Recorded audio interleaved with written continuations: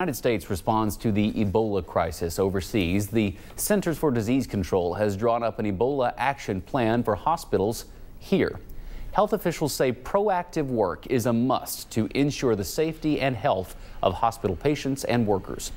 Trinity Mother Frances says they have a plan in place if a case would be reported here. Officials say they screen patients who have been to countries where Ebola has been identified.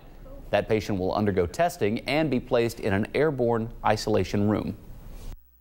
This is something that, you know, we have not seen before, and so we're just taking the best uh, protective precautions for not only our patients, but for our staff.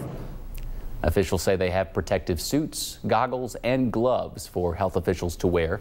The hospital also has an emergency management team that will get called into action if a case were to be reported.